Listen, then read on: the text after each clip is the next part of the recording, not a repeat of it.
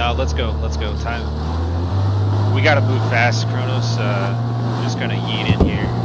Oh my god, is that a TOW? Dude, there's a TOW right there. The guy's on it. Go, go, go, go, go, go, go. Get close. He's min-armed.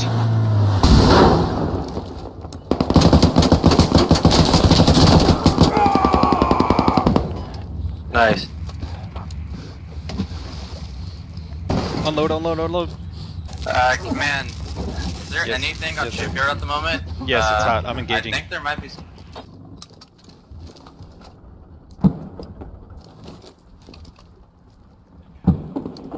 Need reinforcements at this location. Zero. Alright guys, I'm calling Artie in danger close. I'm broken arrowing this uh, location, so let's get some overhead cover. Yo, let's try and get in this building right here. That might cover us. Oh, oh, oh, nice. Shit, what's the fastest way inside? Front. Artillery's coming, boys. Oh my god. there- Hurry. Jesus. Alright, I think that's it. It's creeping towards the point.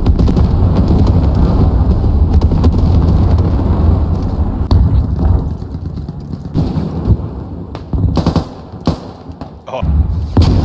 Oh. We're capping Pallane now, one chevron. Fucking use it too. I don't give a fuck. Rod, Coming from west.